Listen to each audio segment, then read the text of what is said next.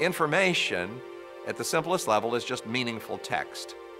You can say it's like uh, the plays of Shakespeare or the Bible if you want to pick something noble. It's uh, like the Los Angeles telephone directory uh, if you want to pick something much more mundane. Perhaps a, a, an instruction book, let's say a cookbook with all the recipes, would be the, the best example, or a computer program, uh, that, like the operating system of a PC.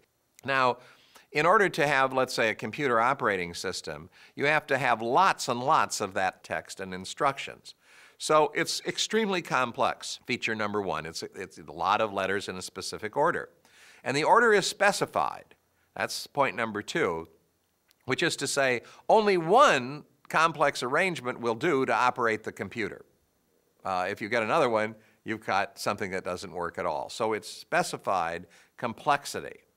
And a third feature is that it's called aperiodic or it's non-repeating.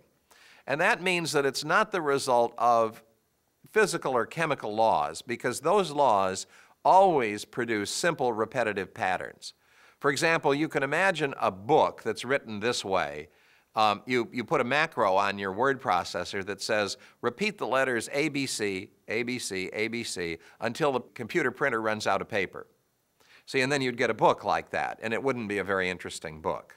Uh, and it would never get more interesting because you see the same laws that give you that pattern ensure that you'll never get a different pattern or a more meaningful one.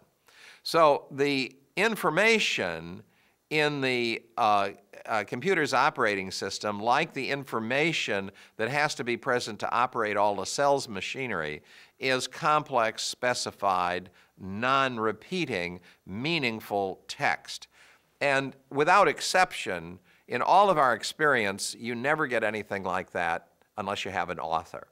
To have computer software, you have to have a software engineer. To have an encyclopedia, you need uh, actually a lot of different authors and editors. Uh, to have the plays of Shakespeare, you need Shakespeare.